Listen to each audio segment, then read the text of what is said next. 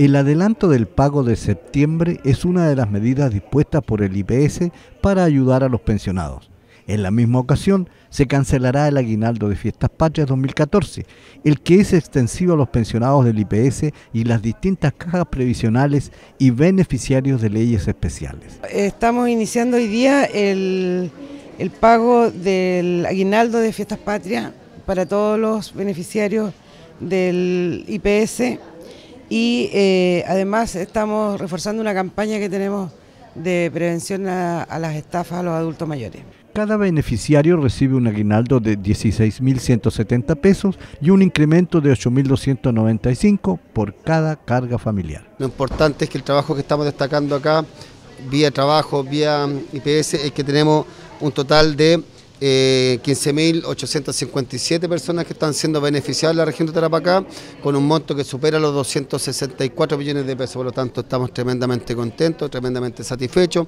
Invitamos a toda la gente a que se acerque a esta oficina para que puedan hacer los cobros, que son beneficios que ellos han ganado con el tiempo.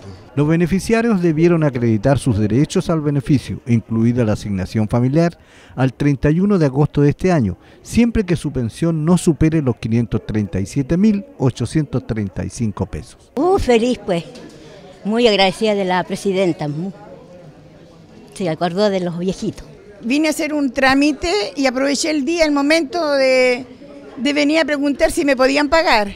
Y justo me dijeron que para mañana, pero me adelantaron. Y más un aguinaldo mejor. Bienvenido, le dije. Vengo a cobrar mi, mi pensión y el bono de, que me dieron ahora. ¿El aguinaldo? ¿Cómo bueno. sienta recibir en esta fecha? Regio, por ser un 18 bien movido. ¿Qué te parece? ¿Eh? Así que lo voy a pasar muy bien.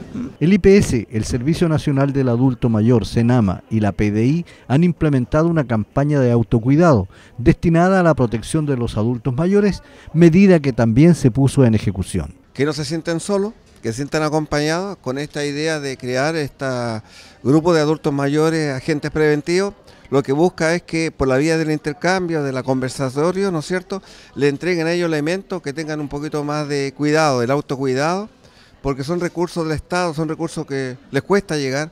Y es muy, muy mala leche que los malandrines hagan esta, esta acción con respecto a personas que son muy vulnerables. Sí, está bien, yo siempre me pago los días primero, siempre no tengo problema. ¿Y la campaña de, que, de la autoprotección, el autocuidado que están informando?